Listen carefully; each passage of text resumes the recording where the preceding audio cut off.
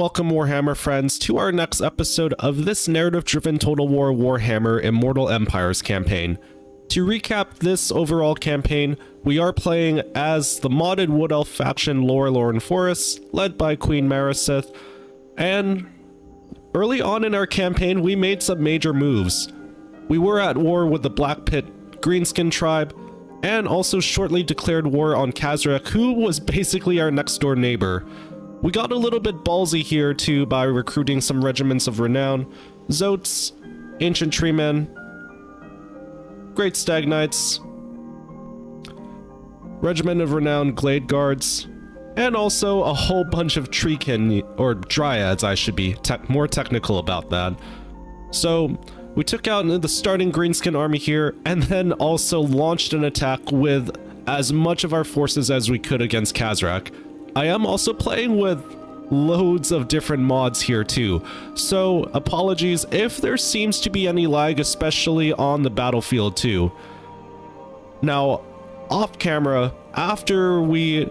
Well, on camera, I did fight the battle against Khazrak. You can find that in the previous episode. But off camera, I did launch an attack on the Black Pit.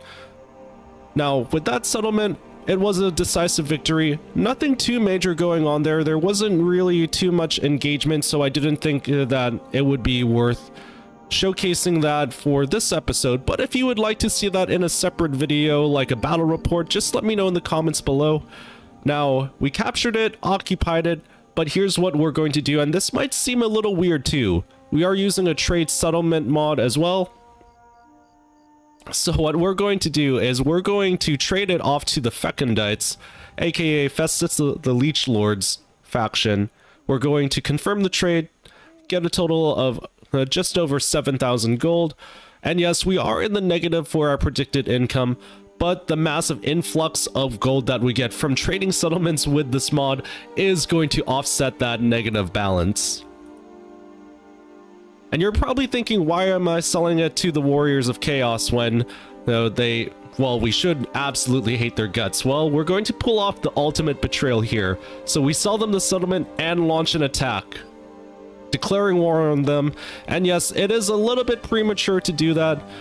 Ideally, it would be better to declare war on them when we're actually within sight of their home territory and also uh, with the legendary lord himself. But we're going to launch an attack there. Occupy it, and then we're going to sell it again to one of our allies here. So it's a very scummy move on our part, but nonetheless, it is something that I'm going to be very shameless about. Now, ideally, we want to sell it to one of our Empire friends here, so we're going to pick the one that will provide us the most. Yes, technically, I would like to sell it to either Nordland or Middenland because they are our neighbors, and we essentially, I'm going to use Nordland as a buffer zone. Nordland, if we take a look at our grander map here, is going to be protecting us against Wulfric and also any Norscan invaders uh, up here. We also have Boris Todbringer as uh, our neighborly ally, and we've made a few trade agreements and peace uh, treaties as well. We do start off with a defensive alliance with Nordland as well, so that's going uh, to help us a ton. And I really do love Laurelorn's campaign right from the get-go too, because we do start off near the heart of the Empire, but we don't have to worry about the elector... We don't... Sorry.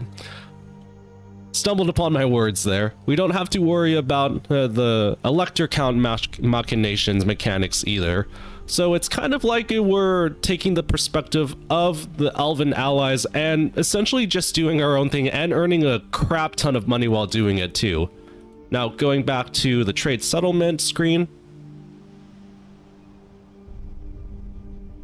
If Marienburg is willing, well, it looks like Ostland is going to be the one that we can uh, sell it to for the most, almost uh, at the value of 7,000. So in total, we're going to get 13,000 gold uh, from selling the settlement twice.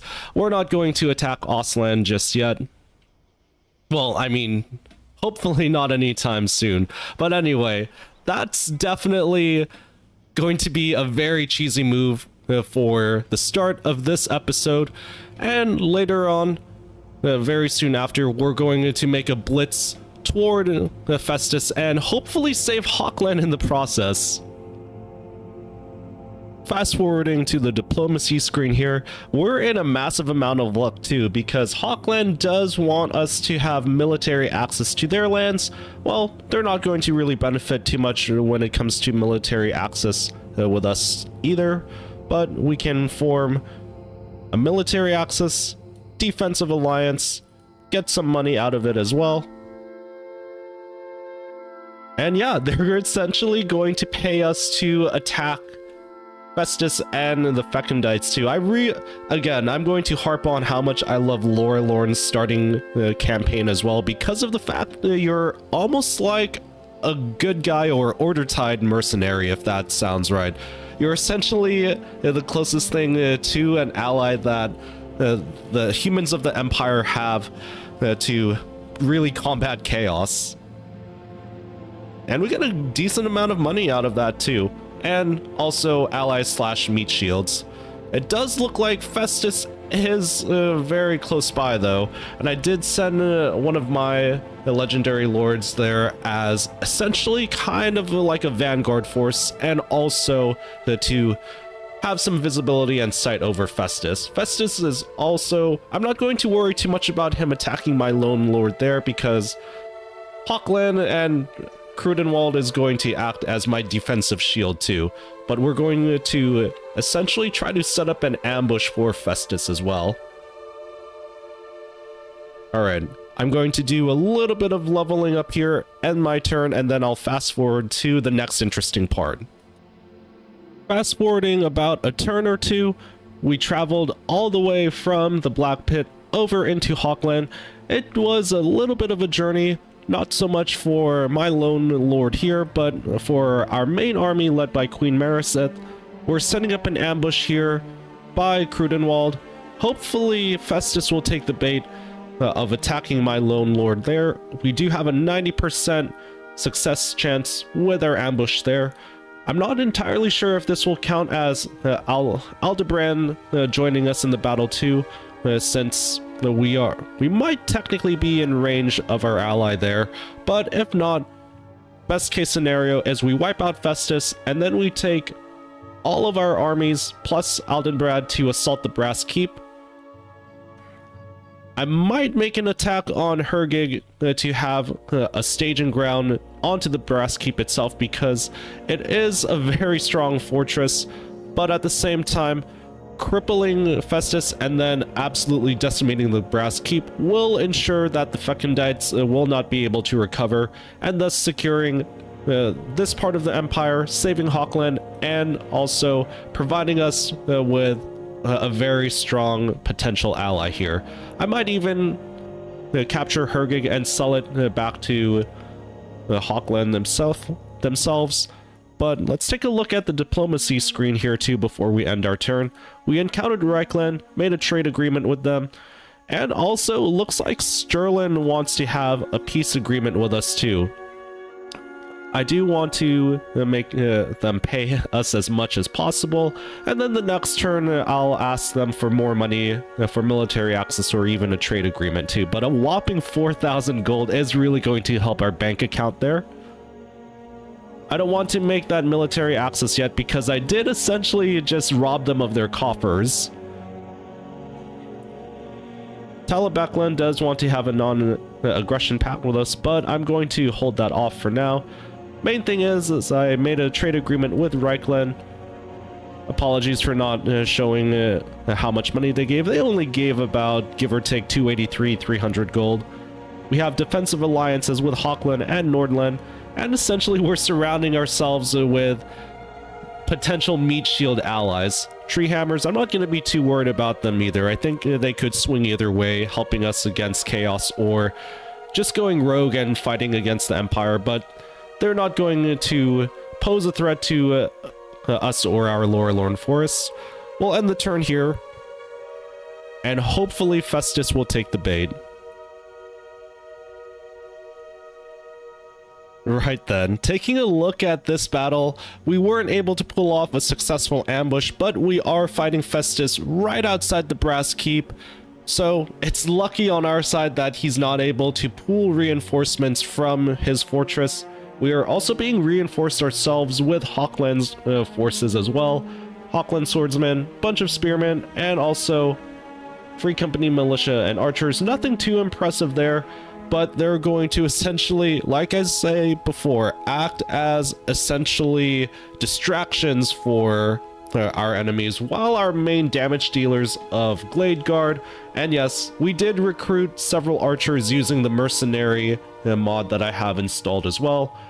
I'm going to save my treemen and hopefully my dryads as well in reserve uh, too because I do need to bear in mind that I need to utilize them for the assault on the Brass Keep itself. Zoats will very much come into play too, and I'm hoping I can uh, draw some of their forces or divide and conquer their forces uh, with my cavalry and even my chariots too, essentially uh, running amok and spreading their forces thin too. Now, here's my strategy too. I could easily auto-resolve this, but I do want to showcase the actual battle to make it more entertaining for all of you. Now, my very scummy plan is to wait for my reinforcements to arrive, have them take on the brunt of their infantry, hopefully tying down uh, their Chaos Warriors, and then the rest of my forces can focus fire and pick off certain units like uh, their Warhounds, and definitely their Chaos Giant too. I really want uh, my Empire Archers to focus fire on the Chaos Giant, although I do know that Chaos Gi well, Giants in general now have more resistance against missile fire, but I'm also going to utilize uh, my Spirit Wolves uh, in battle too, but let's see how this goes for us. Also, a little bit of housekeeping on the side too, my friends. The way I'm going to showcase this battle is actually going to be a battle replay instead of live showcasing it because of the fact that I did get some feedback that there was a huge ton of lag when it came to showcasing uh, the battle in real time. I do want to showcase the replay instead and hopefully have more uh, close-up uh, shots of the battle and the engagement as well. Taking a look at our battle positions at the start, we do have the high ground advantage here.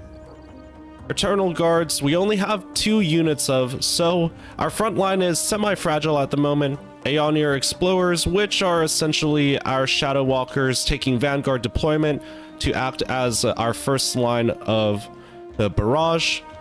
Followed up with the Archers as well, which uh, I will admit we're using it as makeshift frontline troops because our real uh, archer units, the Glade Guard here, will be the ones uh, focus firing, hopefully on the elite units, moving our Eternal Guard in position. And around this time is when we summon a unit of Ladriel's Wolves on top of their Chaos Warhounds. The goal with Ladriel's Wolves is to essentially not just use them as pawns and meat shields, but to tie down and take out their very fast units, which I know will be very annoying for our cavalry too. First unit of Ladriel's Wolves about to get overwhelmed by Chaos Furies and also Chaos Warriors of Nurgle, so I'm pulling them out back to the tree line here, which I hope to spring an ambush soon with Great Stag Knights and Lost Sylvan Knights. I'm also holding my chariots in reserve here too, to lay waste on any elite units who may chase them down too. This, unfortunately, was not a good trade-off uh, for the first summon of Ladriel's Wolves as they were very much overwhelmed, only taking out a few entities of Chaos Warhounds. I was also considering on summoning a unit of Ladriel's Wolves over on uh, this left flank. Around this time too is when Hochland's forces uh, come in to reinforce us, and I am using an Empire reskin mod as well, essentially giving them modernized armor something that looks more professional and very much akin to the Holy Roman Empire, which they are technically based off of.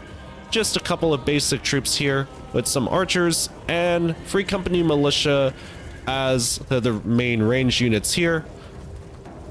Aldenbrand Ludenhof, the Elector Count, on foot here. I'm very concerned about uh, him having the balls to charge into Festus as well. Ladriel's Wolves making another charge, uh, or feint I should say, to get the Chaos Warhounds to chase them down, but also being threatened by Marauders uh, on this flank too. My main concern is, of course, the more elite units of Chaos Warriors of Nurgle. And I don't want to call Giants the elite troops, but uh, this Chaos Giant could potentially wreck our front lines too. Going back to our main force, we have uh, Durthu's Wargrove, Treemen, hidden in the forest here. I do want to save them for reserves in case the giant does become a bit of a menace for us.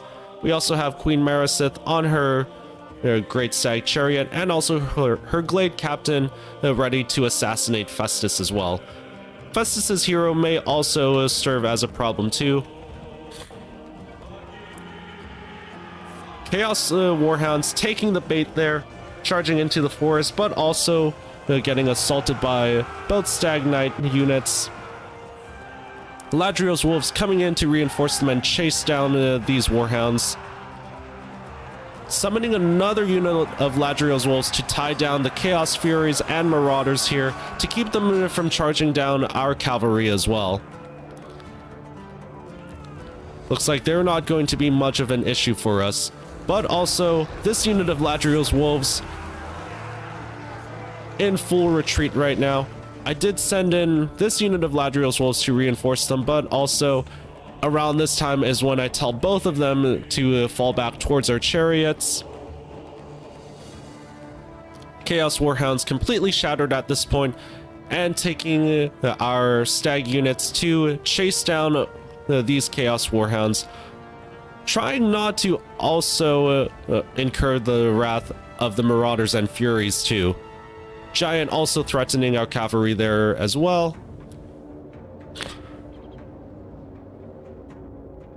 Ludenhof, the absolute mad lad of a man, charging headfirst into the Nurgle armies. Is he going to take on Festus in a 1v1 duel? Highly doubt it. and it seems as though Festus is going to be focusing most of his forces on Hochland. Strategy there, uh, from his perspective, I think, is to absolutely decimate our allies and then hopefully quickly move on to us. Although that is a risky maneuver too, since, like I said, we do have the high ground, and it's going to uh, take a little bit of time uh, for them to reach us too. His forces are completely divided now. Ladriel's wolves charging into the last remaining Chaos Warhounds. Our main cavalry of Stag Knights and also Sylvan, Sylvan Knights circumventing and uh, pulling off a massive charge uh, to send their Chaos Warhounds into retreat and also ramming through uh, these Marauders too, but I don't want to have either of my Stag Knight units tied down, so I'm going to be charging them through making the, them go into a faint retreat as well. Archers and Free Company militia getting tied down by Nurglings, unfortunately. Giant also distracted uh, with Hochland's frontline forces. And Trolls charging in as frontline units.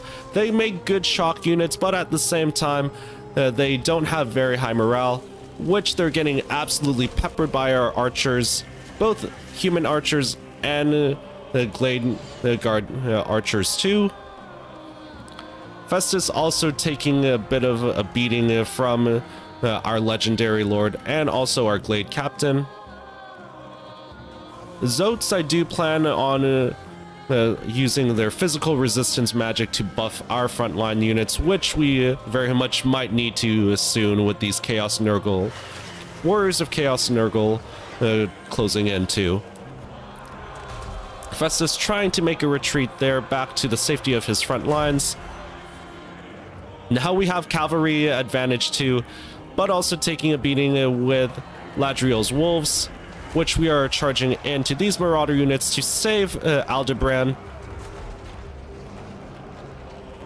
Sylvan Knights and Stag Knights trying to find a position here on uh, which would be a, a, good area to charge into. I don't want to charge them into uh, these great weapons here. I do feel somewhat bad for the Empire taking the brunt of the beating and damage for us. However, it is a necessary evil. Alright, these uh, Nurgle Chaos Warriors are absolutely uh, destroyed by our, our combined effort of Elven Archers and Human Archers too, although they are getting a little bit winded at the moment. Eternal Guard actually holding out against them too. Stag Chariots charging into the retreating Chaos Warriors, but also laying down fire on Festus, who's also about to get peppered. What a beating this man is taking right now. And who is going to get the last shot? That just might be the Glade Captain. And down goes Festus. In a pool of his own filth, that's starting to shatter the enemy morale too. Nurglings very much on their last legs too. They make good tank frontline units too in the early game, but they're about to start disintegrating with the loss of their lord. Marauders also getting overwhelmed by the sheer number of Empire swordsmen and spearmen.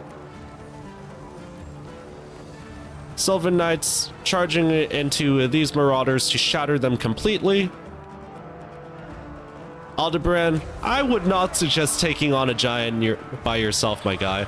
Thank you for distracting him, but I want to say we can definitely take it from here. Then again, I should say we're not in the clear just yet, as uh, this Nurgle hero is going to probably be a pain in our ass if he reaches our front line.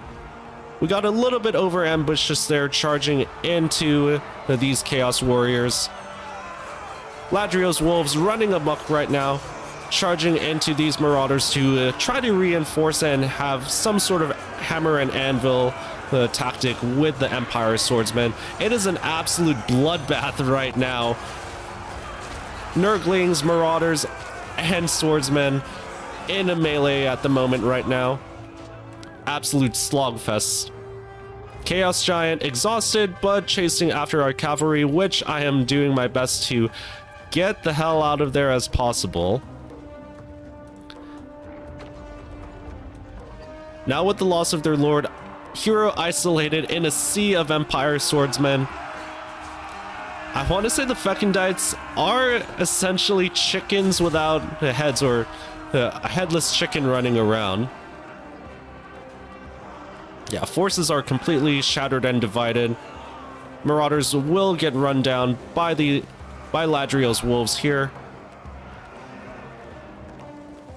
I'll focus fire on the giant here. Even though we essentially have won the battle, I don't want to have to fight reinforcements uh, from uh, those who may recover too. Please let me know in the comments as well if Nurgle or uh, Festus himself is uh, good at replenishing forces. I don't think they're like the vampire counts, which is essentially uh, bring back their units even if they lose the battle. Chaos Giant having no match whatsoever there. Now with complete total victory, we're going to send our knights to essentially reap the spoils too, including our wolves. Wolves are going to be one of the unsung heroes of this battle, sacrificing a lot of their entities uh, for the sake of uh, taking out their cavalry and to provide us with cavalry superiority too. Not going to bother with that unit of Chaos Marauders. Or these two either. Now I will admit, I let it slip uh, due to the fact that this exalted hero of Nurgle almost escaped our clutches, but we are sending in both our chariots and also Glade Captain and Queen Marisith to assassinate him as well. Now, admittedly, everyone, I did play the battle conservatively. Definitely let Hochland take a beating for us too. However, nonetheless, it was an exciting battle and something that I genuinely also had to manage very well too. In terms of making sure when I pulled off an ambush and also making sure that I didn't uh, isolate my cavalry too much or neglected them as well. There was a little bit of micromanagement, now sending the Zoats in to finish off uh, the Chaos uh, Nurgle warriors. You think you're going to be escaping anytime soon, buddy? We're not going to risk it. Question is, who's going to land the kill? I believe it's going to be Marisith, or actually the Glade Captain too. I think the Glade Captain has a higher range than Marisith herself, although Marisith has a higher speed and can close the distance on him.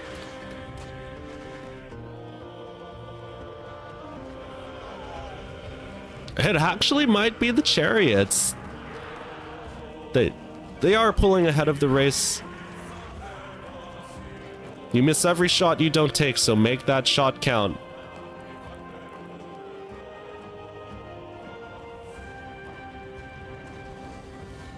And also let me know in the comments if you would have done a more aggressive approach. Oh, actually, that arrow looked like it was from... Yeah, our Glade Captain. What a shot. Absolute snipe. No really need for Durthu's Wargrove either. But we'll definitely take that decisive victory. Like I said, the Wargrove was uh, used for reserve and to be used mainly if Festus closed the lines or also the Giant got a little bit too close for comfort. Good quality units with the Chaos Giant and also Chaos Warriors of Nurgle. However, with the help of our Meat Shield allies, they were tied down along with their Marauders too, and we were able to literally divide and conquer their forces together. So the key to victory here was definitely utilizing our Spirit Wolves to negate their fast cavalry with their Chaos Warhounds, picking them up apart one by one, and also tying up their Chaos Fur Furies too. When it came to dividing and conquering, Festus was focusing the majority of his forces on uh, Aldenbrand, while he himself did a ballsy move and took some of his a, only a small force to attack us too, which we were able to pick him off, both with Marisith and her Glade Captain, and also with every single one of our archer units. The Chaos Giant was a little bit of a problem later on in the battle, and nearly got to our front lines too. We focused a lot of our efforts on taking them down though, and then later on utilize our cavalry uh, to uh, hammer and anvil into their marauder and even chaos forces too. I will say one of the unsung heroes would be our, our chariots as well, picking off the elite targets too, and also laying down some damage on the Chaos Giant, and much later after the battle was over, killing off their hero too, so then there wouldn't be any chance at replenishment, hopefully. I don't think there's going to be any replenishment or uh, a remaining army too. With Festus and his hero dead, the majority of their frontline forces uh, obliterated completely, including the Nurglings themselves. If anything, there's only going to be some Chaos Trolls and Warhounds for us to finish off too. But I don't want there to be too many stragglers. I just want to completely blitz the Brass Keep if possible. With Festus and his main army decimated, the Brass Keep is open for an attack, as well as the neighboring town of Hergig to be retaken by us and Hochland. We decided to go with army replenishment as well in order to offset the, the fact that we did contract the plague after fighting Festus. And also, I do want to get rid of as many of his forces as possible before we experience any sort of attrition as well. So we're going to assault the Brass Keep, but we are going to save that for the next for the next episode. It looks like Aldenhof uh, nearly got in the way of our assault there. And regardless of whether you're a new viewer or returning viewer, thank you so much for making it this far in the video. Let me know in the comments if you would choose a different strategy from the one that I'm running with this campaign, and also which units you would recruit with Laurelorn's army too. Also, please let me know on any improvements I could make for the battle or general campaign showcase as I do appreciate all the feedback from uh, each of you. And if you are a new viewer, if you love narrative driven Warhammer campaigns, or also interested in character builds for Baldur's Gate and Elder Scrolls, which I do plan to upload very soon in the future. I'd love to have you join us on those adventures, friends. So remember to hit the like, subscribe, and bell icon notifications, and I'll save you a seat at the table. Take care and farewell.